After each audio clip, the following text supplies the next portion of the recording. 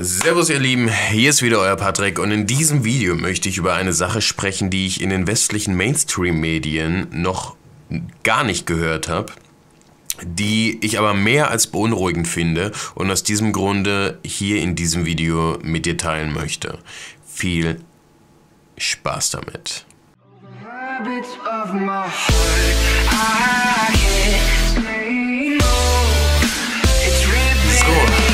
da sind wir wieder. Servus, ihr Lieben. Schön, dass du hier bist.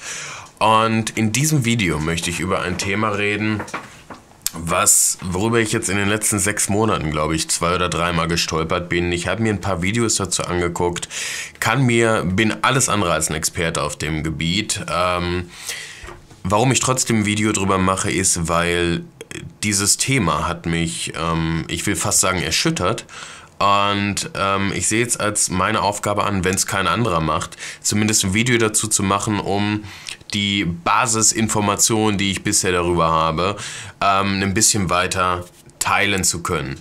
Ähm, nichtsdestotrotz sehe ich das hier nicht als ähm, äh, reine Aufgabe von mir an. Das heißt, wenn du jetzt gerade das Video schaust und du hast schon mal was von dem Thema gehört und du kannst da was zu sagen, dann schreib das gerne in die Kommentare. Ich bin offen dafür, ich lerne gern dazu und ähm, nur ich denke, das ist eine Sache, die wir bekannter machen sollten, weil ich ähm, in den westlichen Medien bisher noch nichts darüber gehört habe. Worum es geht, ist SCS, besser bekannt als Social Credit Score. Und der Social Credit Score ist eine Idee, sage ich mal, oder ein Plan ähm, innerhalb der Volksrepublik Chinas oder Chinas, ich weiß, wie spricht man es final aus? Schreibt das einmal bitte in die Kommentare. Ich hatte schon ein paar Diskussionen darüber, aber irgendwie sagt jeder was anderes. So, nichtsdestotrotz, ähm, Sozialkreditsystem bzw. Social Credit Score. Die Idee dahinter ist folgende.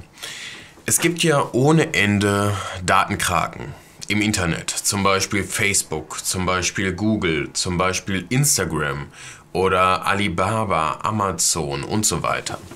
Den Social Credit Score, der in China eingeführt werden soll, von den Jahren 2014 bis 2020, jetzt aktuell ist die Beta-Phase, wenn ich richtig informiert bin, ähm, hat Folgendes als Idee. Und zwar jeder Mensch bekommt einen individuellen Sozialkredit-Score. Das heißt, jeder Mensch, du und ich, innerhalb Chinas werden gerankt. Das heißt, du kannst dir vorstellen, ähm, dass jeder Mensch eine gewisse Punktzahl bekommt. Stell dir vor, all das, was du auf Amazon dir anguckst, was du dir kaufst, was du auf Facebook schreibst, was für Bilder du dir anguckst, wonach du googelst und ähm, welche Straßenbahnen du benutzt, wie lange du Fernsehen guckst, welche Games du zockst, etc. Alle Informationen von all diesen Datenkraken fließen unten zusammen wie bei einem Trichter und werden vereint in eine einzelne Zahl. Das heißt, wenn du in China lebst, ab 2020 soll es verpflichtend sein, bekommst du einen individuellen Score. Dieser Score ist abhängig von allen Dingen, die du machst. Das heißt, was, für Filme du guckst, ob du vielleicht systemkritische Literatur liest oder nach systemkritischen Sachen googelst, ob du überall sind Kameras äh, in, in China, ob du vielleicht ähm, über eine rote Ampel gehst oder die Regeln nicht befolgst. Ähm, egal was du machst, dein Score ist davon abhängig. Wenn du jetzt zum Beispiel viele Freunde hast, die einen geringeren Score haben und du verbringst Zeit mit denen, dann sinkt dein Score nach und nach ganz langsam auch dadurch. Wenn du die falsche Literatur liest, sinkt dein Score. Und das Schlimme, das, das Blöde daran ist, dieser Score wird öffentlich gemacht, so dass andere, wenn sie dich kennenlernen, ohne je ein Wort mit dir gesprochen haben, automatisch wissen, wie vertrauenswürdig du bist. Was passiert jetzt, wenn du am Ende des Tages einen geringen Score hast? In dem Moment, wo du einen geringen Score hast, bezahlst du mehr oder darfst gar nicht mehr ausreisen im Worst Case, bezahlst mehr für öffentliche Verkehrsmittel, hast eventuell Steuererhöhungen. Ähm, du kannst deine Kinder bei einem schlechten Score nicht mehr auf jede Schule schicken. Ähm, eventuell kriegst du äh, rein auf das Privatsozialleben bezogen gar keine Dates mehr, weil ähm, jemand, der dich daten will, checkt vorher einmal deinen Score und sieht, oh, dein Score ist zu niedrig, wird sich auch nicht gut für mich machen. Ähm, und all, all, diese, all diese Sachen ähm, machen uns zum gläsernen Bürger. Es ist das, was Orwell schon geschrieben hat, 84. Und ähm, das ist eine Sache, die mir ein bisschen zu denken gegeben hat, vor allem weil ich vorher noch nie was davon gehört habe. Und das Ganze ist keine Fiktion, das Ganze wird aktuell Stand heute in China schon getestet und seit 2020, also in weniger als anderthalb Jahren, für jeden Chinesen verpflichtend sein. Und ich meine, China ist ja jetzt auch erstmal kein kleines Land. So, China hat ja auch ein paar Einwohner. Und die Tatsache, dass diese Sache so an uns vorbeigeht, finde ich fast genauso erschreckend wie diese Sache selbst. Denn ich meine, jeder Datenschutzgrundverordnung kam gerade Ende Mai. Wir sind so unglaublich sensibel, was unsere Daten betrifft. Und dann soll es möglich sein, dass wir einen individuellen Score bekommen, der öffentlich im Prinzip vorzuzeigen ist. Ähm, es gibt eine Black Mirror-Folge zum Beispiel, die in die Richtung geht, wo jeder im Prinzip eine App hat und wenn wer anders an ihm vorbeiläuft, dann steht hier schon irgendwie so ähm, quasi über seinem Kopf.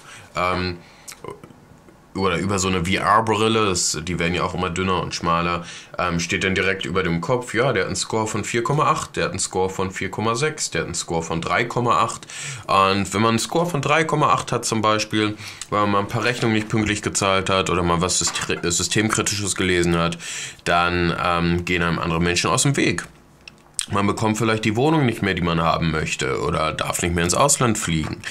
Ähm, ich denke, das ist zuwider jeder demokratischen Natur und ähm, ich finde es wirklich erschreckend, was da los ist drüben in China.